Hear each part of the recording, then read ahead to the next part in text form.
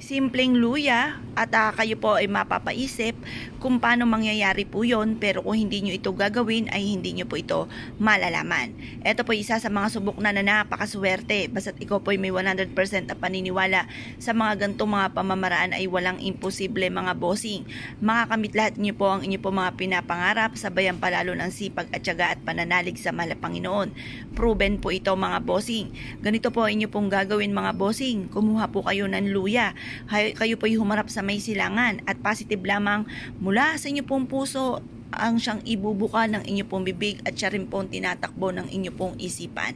Ito pa mga bossing ko yung makakatulong upang sa ganon, mas higit po kayo na maka-attract ng swerte mga bossing. Proven po ito mga bossing basta't may 100% kang paniniwala sa mga gantong mga pamamaraan mga bossing.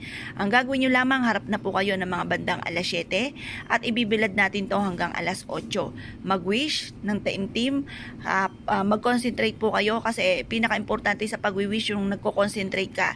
Hindi lumilipad ang inyo pong diwa kasi misa may nagwi-wish pero iba naman ang tinatakbo ng inyo pong diwa. Kailangan kung anong uh, sinasabi ng inyong kalooban ay ibinubukas sa bibig at yun rin po ang tumatakbo sa inyong isipan.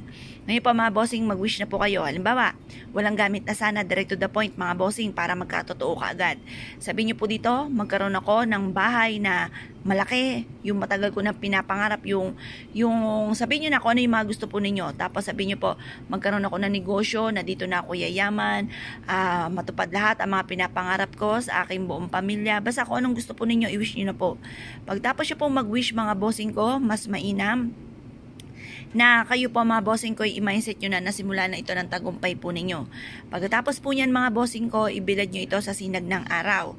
Ngayon, kapag naibilad nyo na hanggang alas 8 ng umaga, ilagay nyo po siya sa inyo pong bag mga bossing.